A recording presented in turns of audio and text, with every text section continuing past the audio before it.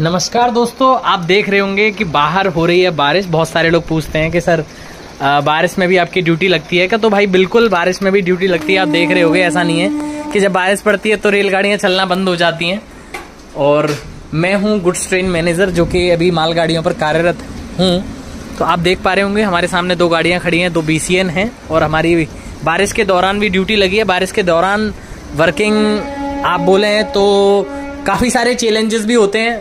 जैसे पावर को पावर के, क्या कहते हैं पावर के में अच्छी ग्रिप ना बन पाना, जो पावर होता है हमारा इंजन उसके पहियों के नीचे कई बार उसके पहिए स्लिप होते हैं तो लोको पायलट वहाँ पे काफ़ी चैलेंजेस महसूस करते हैं।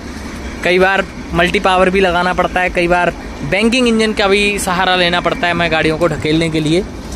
तो बारिश में वैसे मौसम अच्छा हो गया है, आप देख रहे होंगे। आप भी आएँ ज्वाइन करें।